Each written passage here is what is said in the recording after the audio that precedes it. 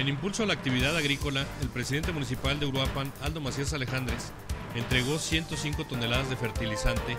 a 379 productores de 17 localidades de escasos recursos de este municipio por un monto de 850.950 pesos.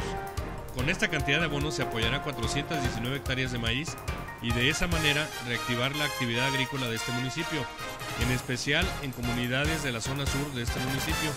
las cuales presentan marcado rezago social. Además, el alcalde entregó 50 paquetes de semillas de hortaliza y nopal, 2.000 plantas de pino, acutsato y la basilia, así como 12 rollos de malla ciclón habitantes de Jicarán Viejo,